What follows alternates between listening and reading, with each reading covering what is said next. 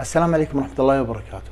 اليوم يا إخوان أشرح لكم طريقة حذف جميع البيانات والإعدادات والصور والفيديوهات والأسماء على جهاز الآيفون أو آه، أجهزة أبل بشكل عام آيباد أو آيفون.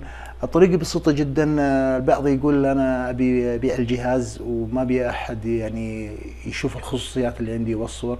يسوي هذه الطريقة يعني ما يحتاج تروح المحل ما يحتاج كمبيوتر ما يحتاج حتى إنترنت طريقة بسيطة جدا قبل لا أبدأ بالشرح.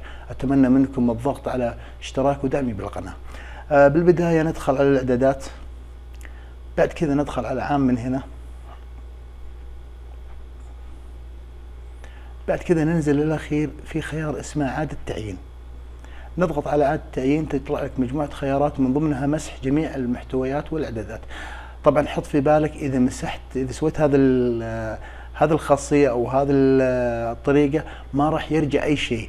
آه نجرب مع بعض مسح جميع المحتويات والإعدادات نضغط عليها من هنا.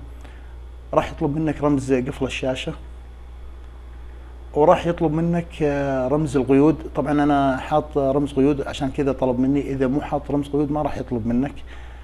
بعد كذا راح يقول لك هنا مسح الآيفون. راح يرجع زي ما كان. يقولك سيتم حذف آه سيتم حذف كافة الوساط والبيانات وإعادة تعيين كافة الإعدادات.